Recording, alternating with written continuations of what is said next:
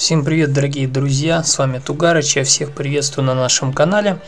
И сегодня выложил видео э, тестирования, скажем так, э, процессора i7 2700K со связки, в связке с видеокартой 1050 Ti от NVIDIA.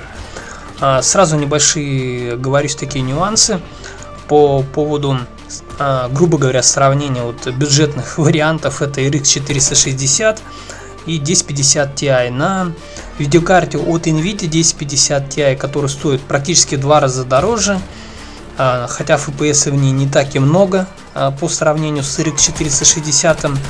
Но из нюансов, которые никогда не покажут вам никакие FPS мониторинги, объясню следующую ситуацию. На видеокарте 1050 Ti проще как бы убить игрока, который бежит вдоль. То есть, предположим, если игрок бежит а, на PvE там, или на PvP по отношению к вам а, под 90 градусов, то его проще убить с видеокарты NVIDIA 1050 Ti.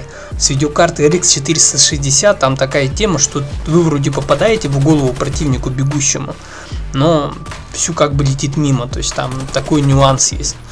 Вот, и на видеозаписи там видно, что вы промахиваетесь, но тем не менее э, на десятом поколении именно 1050 Ti все происходит, э, как бы кадры более быстрые.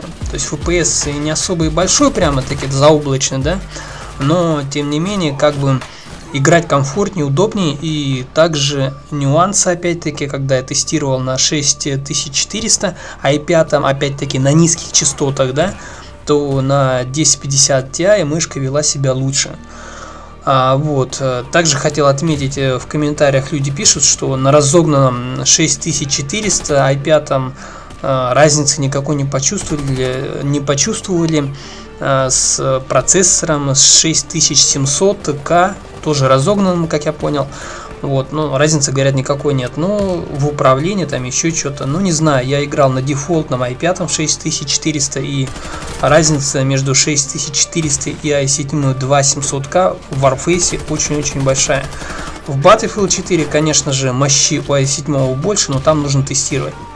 Вот, надо переустановить винду и посмотреть там что и как. Но играть там тоже как бы проще, но э, почему-то там с уроном какие-то проблемы, нужно это все дело смотреть. Ну и такая закономерность, конечно же, наблюдается, как и большинства, в большинстве игр.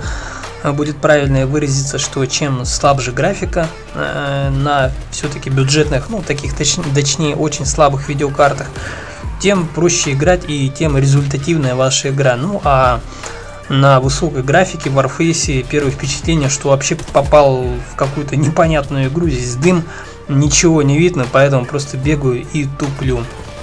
Ну опять-таки, дабы быть объективными, вот то, что я говорю, вот это те вещи, ну, которые случились и происходили со мной. А, с процессора i7 2700K у меня получается убивать игроков, не всегда, конечно, которые катятся на меня в подкате, да, такое бывает, но такого никогда, наверное, практически никогда не происходило с э, процессора i5 6400, то есть э, игрока, который катится на меня в подкате, но я убивал очень и очень редко.